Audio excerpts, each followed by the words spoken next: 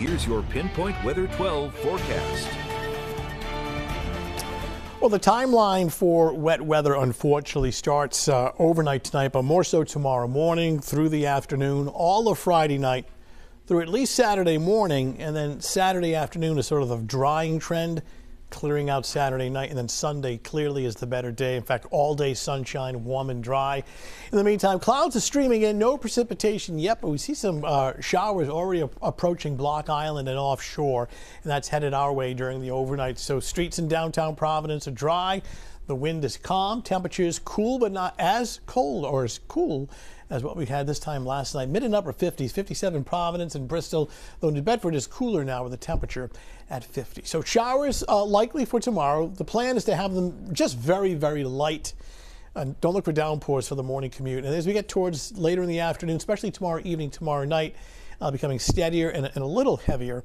As far as the weekend goes, that precipitation extends into at least Saturday morning, seeing signs that it dries out Saturday afternoon, but the clouds remain. We don't really clear until Saturday evening, Saturday night, and then Sunday looks gorgeous. And really, Sunday marks day one of multiple days next week. Look at this Monday through Thursday of next week, sunshine, warm and dry. Warm meaning, you know, temperatures in the mid 70s. Clouding up, precipitation just offshore. It extends down through the uh, mid Atlantic.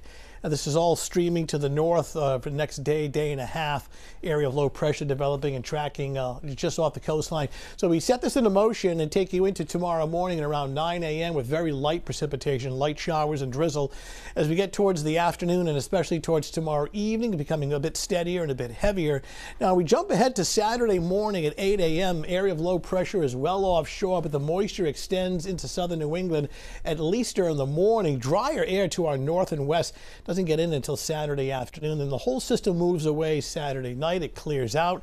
And here we go. As soon as we wake up on Sunday morning, the sun is out, turns into a beautiful day.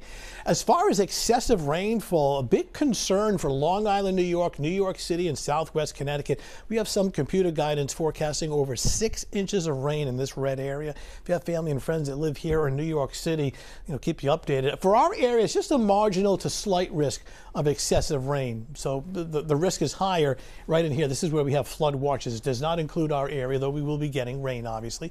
So for tomorrow morning, it's very light, scattered gray skies and cool, some patchy fog.